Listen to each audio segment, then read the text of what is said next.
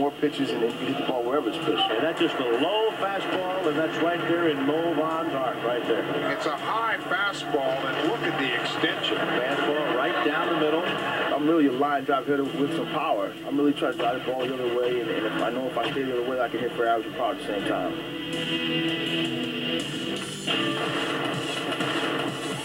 Nobody has hit more balls off or over the monster than Mo Vaughn. I go to the plate, I don't have to worry about where the ball is going to be hit. I just hit the ball. If it's, if it's outside, then I'll drive the ball left field, center, or right field. Home run right down the line by Mo Vaughn. That was a huge blast to right. That was about 80 foot tall when it left. And I think that's when the ball is inside will dictate, and that's when all your weight will be back, and that's when you'll drive the ball up in the tunnel or up the deck.